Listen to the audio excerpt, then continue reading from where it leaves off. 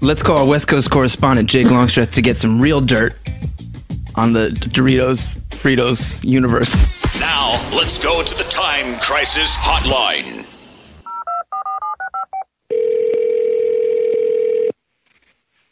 Hey, Ezra. Hey, what's up, Jake? You're on with the Time Crisis New York crew, Despot and Asher. Oh, cool. Old school. Exactly. So, Jake, I, we were just talking about Doritos and Fritos, and um, the fan response to the last show, it was unreal. You know, d- while the show was airing, briefly, hashtag Doritos versus Fritos. Wait, what's your position? You didn't yeah. even say. Well, you know, I'm agnostic on everything. Okay. If the Frito Lay company decides that they want me to be the face of Fritos or Doritos, Mm. the last thing that I need is somebody digging up an old radio show Right. where I, I chose sides. I mean, regardless, you're kind of Yeah, you're a Frito Lay's boy either way. no, but you're being divisive here, so the company might not appreciate that either way. You're, you're, I guess I you're am inviting. people. I am inviting criticism of their products. Encouraging an atmosphere of Okay, I like intolerance. Doritos. Good. Well said.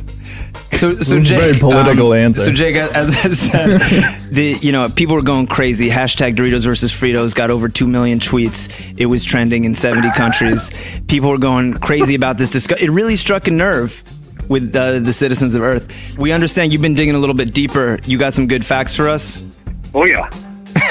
All right, lay it on us. Wait, how about you? what do you like better, Doritos or Fritos, man? We discussed this, and I think as a child I would have gone with Doritos, but as an adult, a self-respecting adult, I would go Fritos. That's that's interesting. Is that just because of like getting the stuff on your fingers? Yeah, That's- it that's just, fair. as- it's just the Doritos are over the top. Yeah. it's not a good look. What, what if one of your friends pulls up in a Lamborghini and you have to wave at them, and all your finger your fingertips are all orange? Or if you get caught licking that off or something, that's Yeah, really gross. licking it is not a good look. That's disgusting. All right, so Jake, what did, what did you find out about Fritos and Doritos?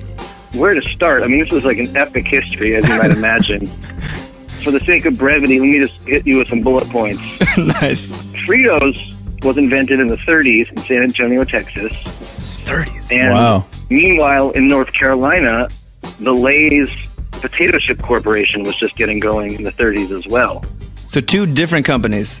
Yeah, yeah. The Frito Company and the Lay's Potato Chip Company were separate companies, and they, they were very successful regionally. And then in 1961, they merged to form Frito Lay. And then four years after that, it started to get super global and corporate because Frito Lay merged with Pepsi Cola Company, forming PepsiCo. Wait, Frito Lay's is owned by Pepsi still? PepsiCo, yeah, still is. I think they also own like Pizza Hut, maybe Taco Bell. There's like a No, no, no. some weird. Well, they Oh, did okay. until 1997, but All right. that's all. That's, that's for another episode. I don't think I've checked since 1997. All right, so PepsiCo, so Frito Lay, they come together, they're powerhouse. PepsiCo says, you know, guys, we could take this even further, becomes a global brand. Yeah, as of 2009, PepsiCo comprised 40% of all savory snacks sold in the United States. Wow. And initially, like, there was this guy named Donald Kendall who was really tight with Richard Nixon. Oh, God. He was the CEO of PepsiCo. he was, and actually, Nixon was PepsiCo's company lawyer in the mid 60s. And PepsiCo in the late 60s was thinking of marketing potato chips and Pepsi products together in the same advertisements because, to quote Donald Kendall, potato chips make you thirsty, Pepsi satisfies thirst. So it's like it's kind of a, a Oh yin and a yang. So you're so you're telling That's called synergy. Wait, okay, so you're telling me so these guys basically invented a certain form of uh, corporate synergy. They give you the taste of a Dorito or a, or a Frito. You get thirsty. Right. now they're hitting you with Pepsi, which is full of sugar, which is going to totally destroy your metabolism and then make you want to eat more carbs. It's insane, and it goes so deep. I mean, I went down the rabbit hole this afternoon with this stuff. Normally, when people say that something goes really deep, the next line is, I think it goes all the way to the very top. And in this instance, it literally did go all the way to the very top to the President of the United States. So I'm, I'm picturing in my mind's eye that a bunch of these corporate scumbags at PepsiCo were like, Nixon, you're a hell of a lawyer, but we need a man on the inside. We want to put you in the White House. And he's like, guys, I ran for president before it didn't go very well.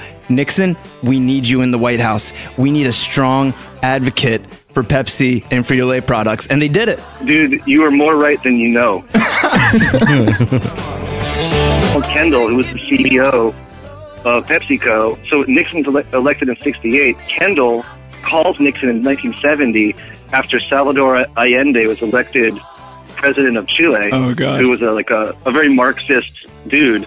A lefty. And, yeah, he was going to nationalize everything and kick out American corporations. And there was a big PepsiCo bottling plant in Chile.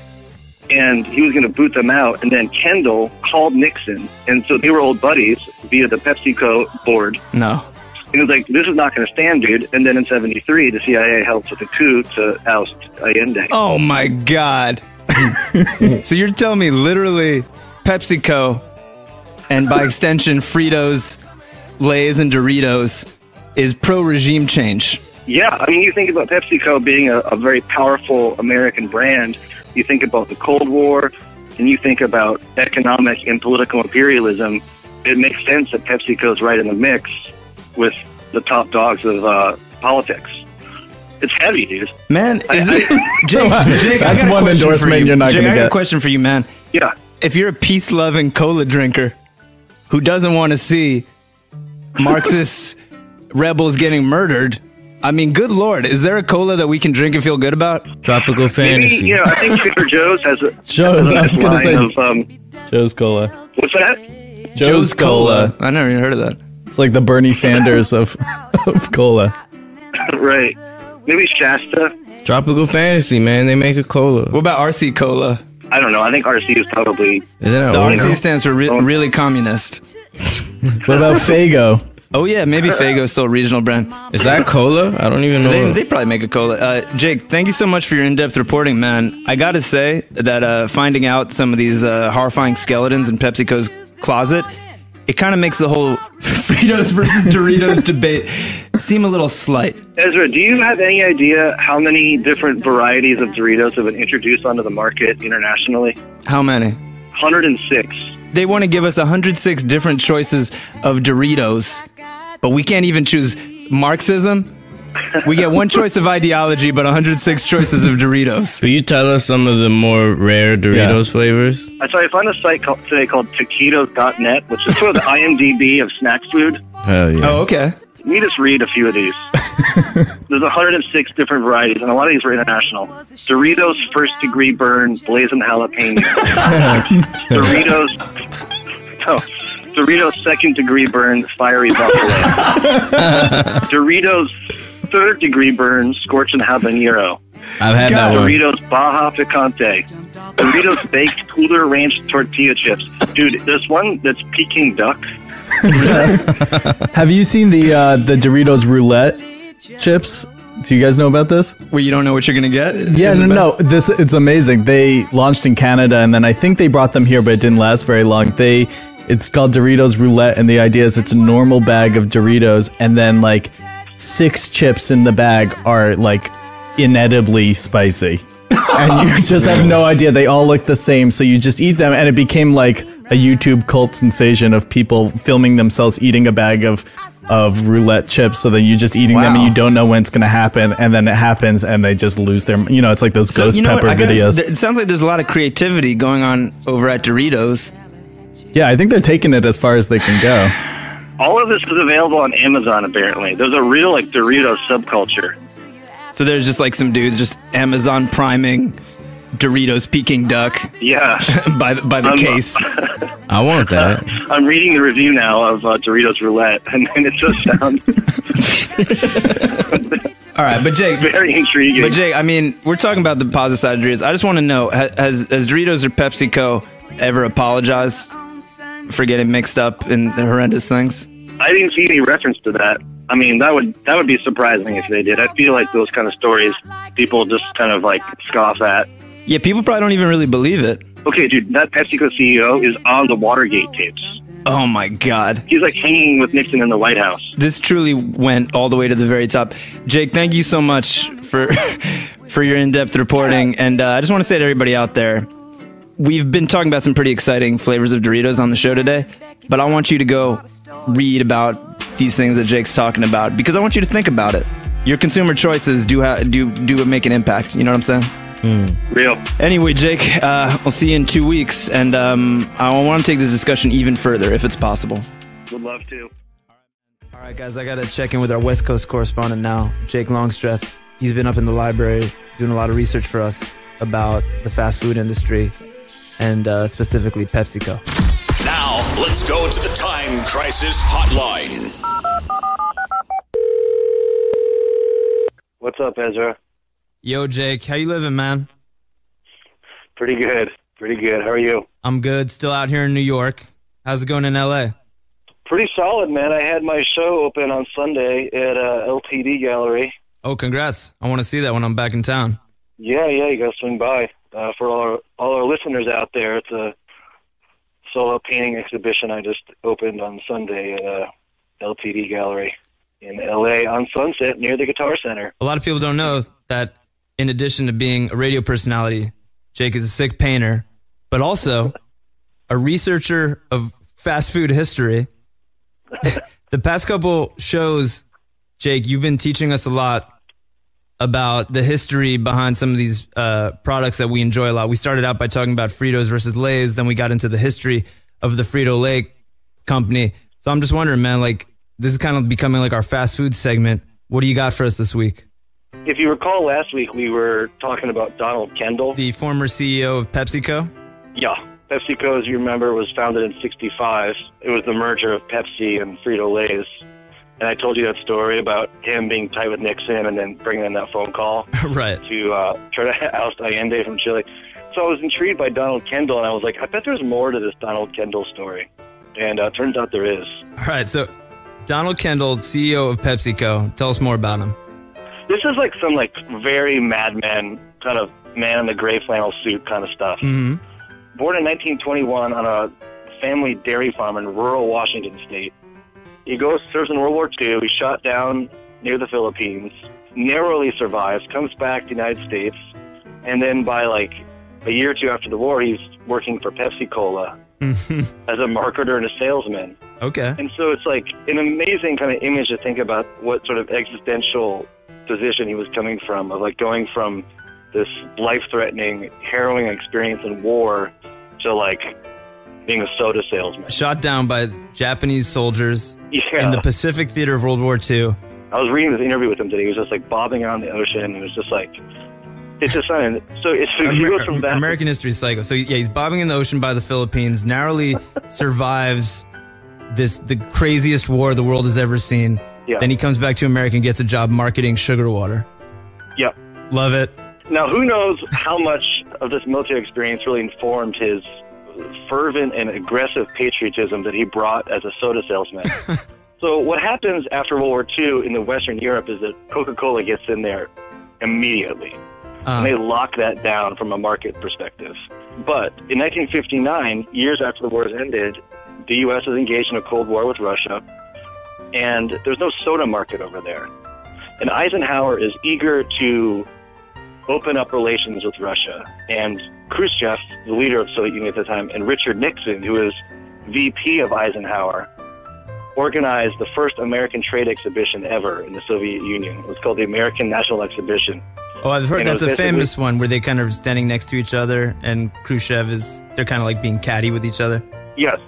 And so apparently the night before the thing started, Kendall is there representing Pepsi. Like Pepsi has a trade booth. and he goes up to Nixon and he's sort of just like, dude, how can we work this out so you bring Khrushchev over and I get a Pepsi in his hand? We need to make that happen. And sure enough, it does the next day. Nixon leads Khrushchev over and there's like an iconic photo of him holding a Pepsi. And from there on, Pepsi becomes associated with the Soviet Union. So there's no Coke, there's no Coca Cola in the Soviet Union, but Pepsi gets in there first using the Nixon connection. Exactly. And in 1972, they strike a barter agreement where PepsiCo is granted the exportation and marketing rights to Stoli Naya, also known as Stoli Vodka, which is like the state Soviet vodka company. Whoa, whoa, whoa. Oh, I didn't know that. Yeah, yeah, yeah. So PepsiCo becomes the sole importer of Stoli vodka, and in exchange, the Soviet Union markets and sells Pepsi Cola, and it's literally a barter exchange where Pepsi Cola syrup is being traded for you know flats of Stoli vodka. That doesn't sound very communist. No, I mean, But yeah, so like the Soviet Union is selling Pepsi Cola. So, like, the one American product in the Soviet Yeah. Union is Pepsi. It's the first U.S. company ever to have its product there under the U.S. And let, us just clarify for the listeners we're not talking about, like, late 80s fall of communism. We're talking about No, no, no. 60s full on Cold War. full on. And this dude, Donald Kendall, got Pepsi into the Soviet Union. Yes, he did. Wow. This is in the early 70s. And then, of course, it ends up sort of backfiring in the sense that in 92, when the Soviet Union collapses, all the people there associate Pepsi with the old regime. Oh. Coke comes in there like the day after and just sets up shop.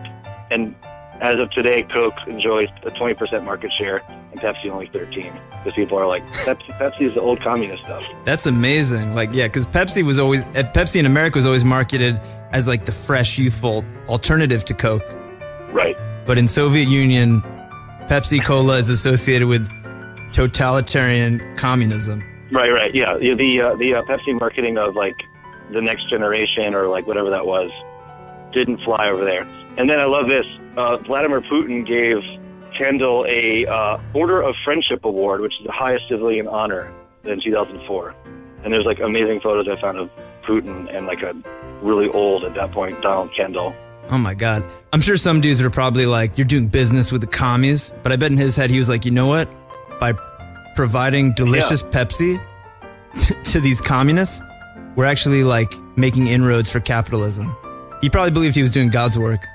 Absolutely. I mean, that one, yeah, I mean, the story I told you before about him trying to uh, get the president of Chile overthrown was a little more sinister. This one was like a little more like by the book Cold War in the sense of, uh, yeah, just trying to import like uh, powerful American brands. I'm sure his experience as a soldier in in World War II informed this like really ambitious and patriotic way of conducting business, which to us seems like kind of funny and like hard to imagine that mindset today. in the global economy. Right, right. Well, that's a cra- that's a crazy story, Jake. So for everybody at home, next time you sip on a Pepsi, just imagine that you're in the Soviet Union.